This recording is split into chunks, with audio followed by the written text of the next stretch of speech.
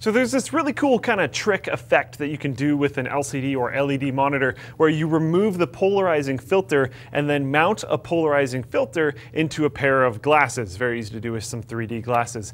That results in a monitor that looks like it just emits white and nothing else. But if you're wearing the right glasses, you can actually see what's on screen. Let's check it out.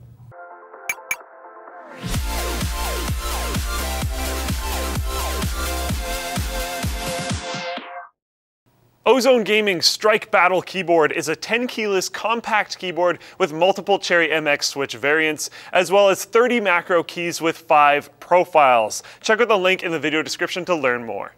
So this isn't an original Linus Tech Tips idea. This was posted by two different people about two years ago. On YouTube, it was posted by Brusspup, and on Instructables, it was posted by Dimovi. And there's also two different methods of doing this. They both start with taking off the bezel of the monitor and then using a knife to cut a perimeter around the screen. It's very sketchy, but oh well. And then by chiseling off the polarizing filter, getting rid of the glue somehow with a solvent of some sort, and then mounting a polarizing filter in a pair of glasses. Sounds pretty straightforward so far. The differentiating part is whether or not you buy some polarizing filters or reuse the polarizing filter off of your screen. Uh, buying them sounds like more of a sure shot, so I made sure that I had some before we started this, but we're gonna see which one works best. And we're gonna go through the whole process on camera. Okay, so first things first, I need to clear this area. I need to get my iFixit kit ready and my screwdriver because I have to tear the bezel off of this guy. I'm gonna remove the stand. Um, one interesting tidbit, uh, I've already kind of done this. I used a different monitor and it super didn't work. And you might be wondering why I would release this video if it like super failed once already. The problem there was there was a pre-existing crack on the monitor. So when I'm trying to pull off the polarizing filter, there's glue under there. The pre-existing crack spreads and I just ripped the whole thing in half. So hopefully that doesn't happen again. And if not, we'll probably be good. Removing bezels on monitors kind of super sucks. I'm gonna do something that's not super visually appealing and use just a flathead to pry it off. Realistically, you're supposed to use a spudger, um, but I just bent the whole head off of one of mine because it wasn't really working properly. The problem with this guy, and the reason why it's gonna be pretty ugly, is it's metal and it doesn't give at all. It might be nice if you have something plastic so it can give a little bit. I might end up messing up some of the plastic here. So what I'm gonna do is start on the bottom. That way it's hopefully going to be the least viewed part of the monitor.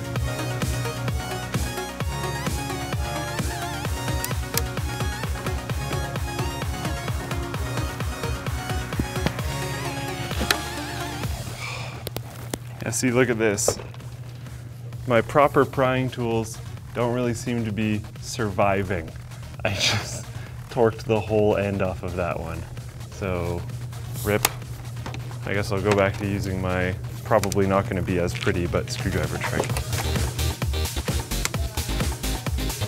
I ended up starting on the top because the bottom was giving me too much trouble. So you can see the starting point is pretty rough actually. That's why I suggest maybe taking a little bit more time with it and using a more proper tool. And then from there on, it's not too bad. You'll just see little bumps here and there from the flathead, but it's not really the end of the world. I know people will care and it will bug me, so whatever.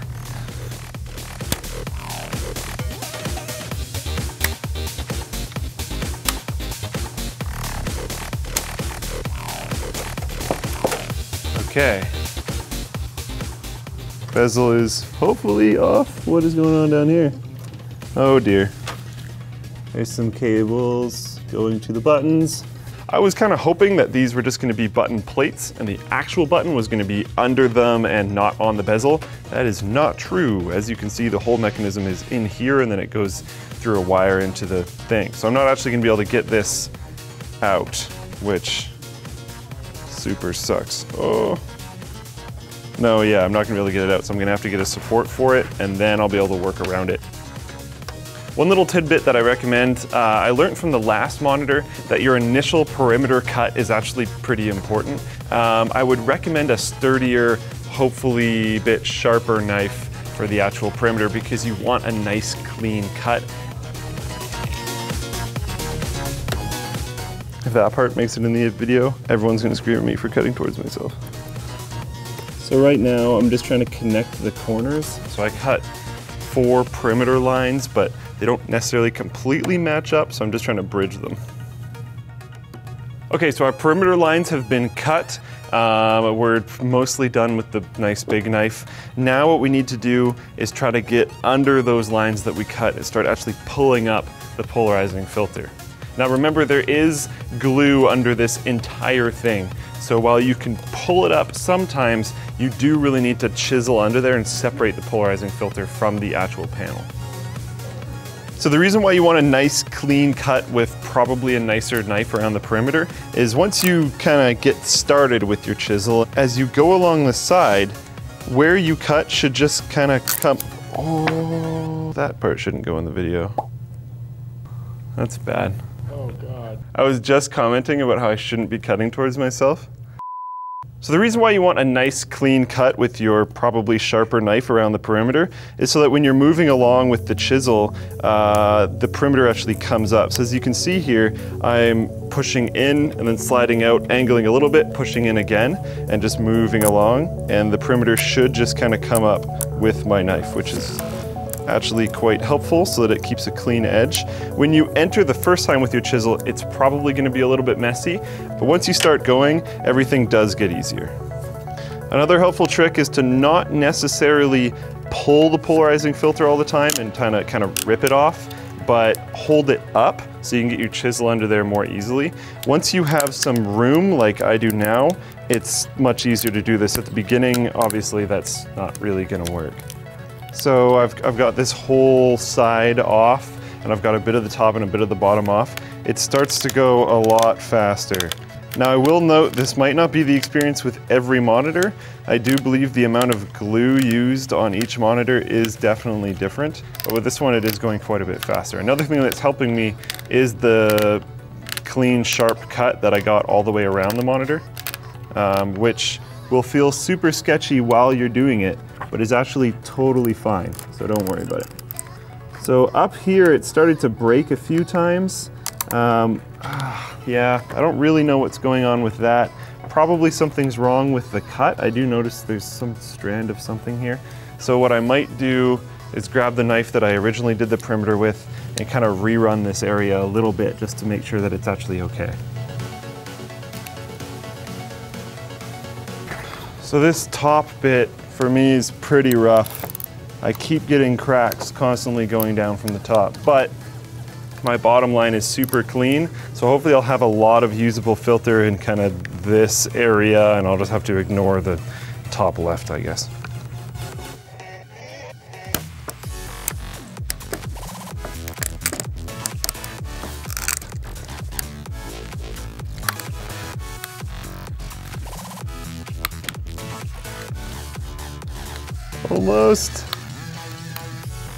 Go.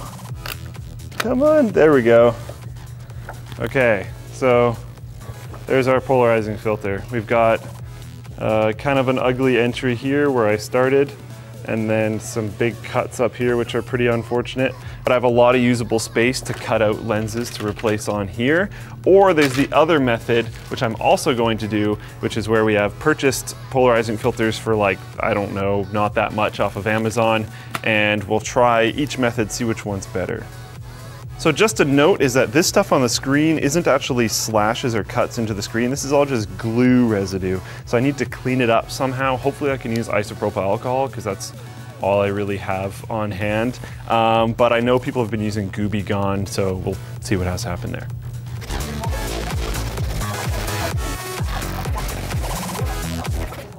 Hey, do we have Gooby Gone? Do we have Gooby Gone?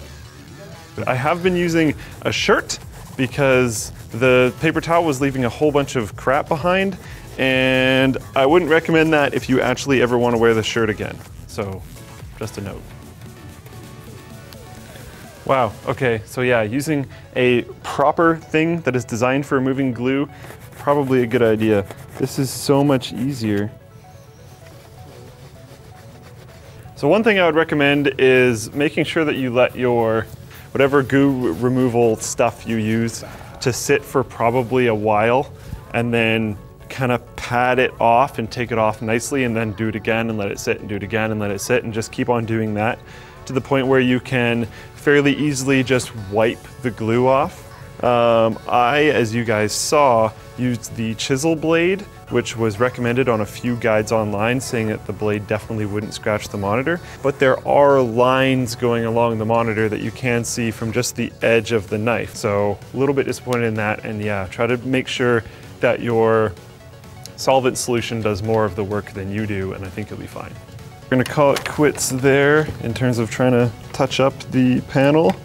I'm gonna try to get this monitor back together. I knew those wires were gonna be a problem. All right. One thing, again, to take note of is you can do this with pretty much whatever panel you want, but I recommend going my route and buying some kind of cheap panel off some dude who's moving on Craigslist. Um, because it's not a perfect method, but we'll talk about that more later on. Now what we need to do is plug this guy in, make sure it's all white, which I'm sure it will be, and then check out the alignment for these filters so I can cut them into some glasses. Can you even see that, Brandon? See what? Do you want to plug the Wancho computer in?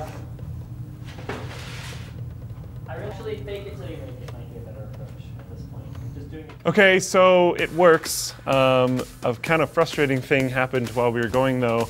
Nothing went wrong with the actual removal of the polarizing filter or anything, but it seems like the inverter on the monitor has whoop, died at some point in time. So if I shove this guy on here and change the source, you'll see it works, but then goes away almost immediately.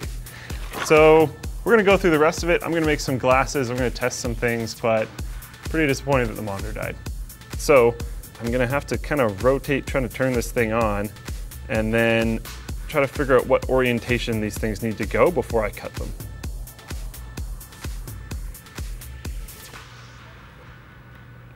Oh, that's really close, yeah. Yeah, that's good. So now I know from just not letting go of it that this part needs to be going up. Use my lens that I popped out of my glasses earlier. Um, squish that kind of against the polarizing filter. And I'm gonna use a thin Sharpie to outline it. And then I'm just gonna cut on the inside of the outline and then it should work. Okay, so I've cut my filter. Now it's time to actually fit it into my pair of glasses. Think that works so far. I feel like a hipster not having one of my lenses there, but now I just need to fit one more of them and I think we'll be good.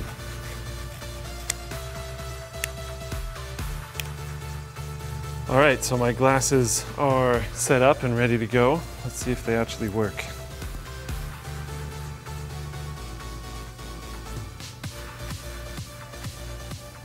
There we go. All right, so the glasses do work. Um, sorry that the inverter's borked so you can't really see it all that well, but something I'm gonna do is actually pass these to Brandon and then hold those over the lens. We're gonna do this live. And then I'm gonna change the source and hopefully you guys will be able to see it better with that over the lens. Give me a moment. I'm gonna have no idea when this works because I'm not actually gonna be able to see it. Is that good? Okay, there we go. So the project worked, the monitor didn't, but the inverter dying had nothing to do with what we did for the project. So poor old like 10 year old Flatron is, is gonna have to be retired and recycled after this, but oh well. I would still recommend getting an old monitor. I just wouldn't necessarily recommend getting a very old monitor or one that you don't trust. I bought this one off Craigslist for 30 bucks or something and I only tested it for about two minutes two weeks ago and now fast forward two weeks, the inverter's dead, things are bad. Another little bit that I have to say is while being able to remove the polarizing filter that was on the monitor and using it again is cool, you also need to remove the anti-glare filter off of here. And while it's possible by soaking it in hot water and then trying to peel it off like a sticker and stuff, it's really annoying. And the polarizing filters from Amazon are super cheap and work really well. Uh, one thing to note on here is that they also have a film on it, a sticker-like substance, which is just supposed to protect them, but it's super easy to take off. So not nearly the same problem that we have with the anti-glare filter. Another thing is to goof off or gooby gone or whatever the heck paint thinner you end up using to remove your glue. Let it sit on there for a while, dry it off, let it sit again, dry it off, let it sit again. Do that a few times so that you don't have to scrape the glue off. It should come off much more evenly and you'll have a better time. I probably should have done that. But honestly, it wasn't that hard. It was sketchy. It feels very weird bringing a knife to a monitor screen. It doesn't feel natural, um, but yeah, if you guys do it, please post it on the forum. I'd like to see your projects. Mack Weldon gear ranging from underwear to undershirts, t-shirts, socks, sweats, and they're really easy to order, and honestly, they're really easy to wear too. I mean, their boxers are literally cradling my man parts as we speak, yeah. and they do a great job of it. Something that's pretty great is that their products are naturally antimicrobial, but especially the Pima cotton with silver XT2 ones. So I swear to my girlfriend, if you're watching this, uh, these were clean before I put them on. But you, in the audience, should run an experiment where you get the silver ones and see how long you can wear them until they, you know, like actually smell. For science! anyways, by the way, if you hit up the mackweldon.com website and use the promo code Linus, you get 20% off. So, I don't know. Check it out. Thanks for watching, guys. If you dislike the video because you're like, wow, the project didn't really fully work because the inverter died, be sure to press the dislike button. If you liked the project because it kind of sort of worked at the same time, press the like button, get subscribed, favorite, share, all that fun stuff. Go on Amazon, use our Amazon affiliate code, uh, buy some of our shirts in the link in the video description down below, or become a contributor on the forum. If you want to see other crazy projects, there's the conclusion to my Fallout build, which definitely falls under the category of crazy projects. So click up here to watch that.